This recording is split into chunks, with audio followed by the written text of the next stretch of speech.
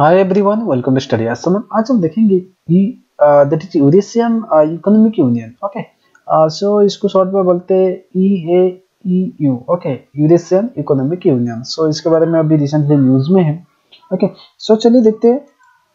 सो so, uh, ये जो Eurasian economic union है ये एक क्या है ना इंटरनेशनल ऑर्गेनाइजेशन जो कि क्या करता है ना फॉर रीजनल इकोनॉमिक इंटीग्रेशन देखता है ओके okay?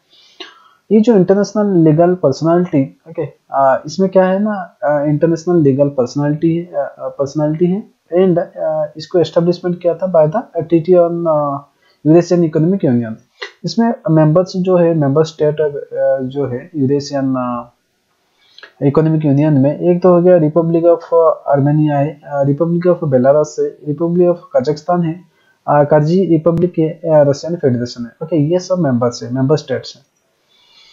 सो मेन तो है, मेंबर स्टेट कौन है? ये ई ए यू क्या है और किसके लिए है? ओके ये बहुत ही इंपॉर्टेंट है। ई ए यू जो प्रोवाइड करता है, एक तो हो गया फ्री जो free movement of goods services capital labour ये ये देखता है, ठीक है? E A U economic union so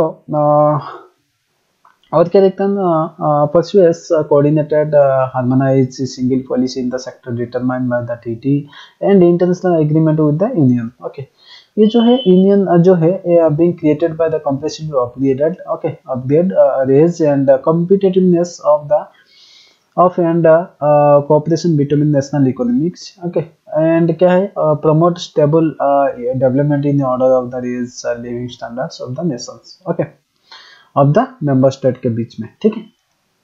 that's all thank you